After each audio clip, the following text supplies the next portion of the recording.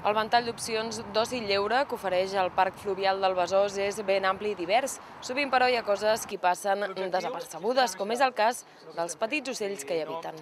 Justament per conèixer-los, la Diputació de Barcelona ha organitzat una jornada d'anellament científic d'aus salvatges en aquest enclavament de Santa Coloma de Gramenet, a tocar del pont de la B20. Per poder-los marcar, primer calia capturar-los amb aquestes xarxes col·locades a la llera del riu i també entre els canyissars.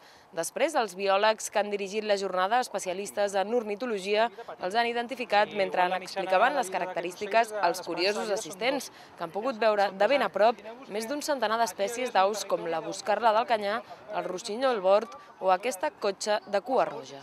L'anellament d'aquests animals permet seguir-los la pista i descobrir així el recorregut que fan durant les seves migracions. Un cop registrats i numerats, tots han acabat alçant el vol.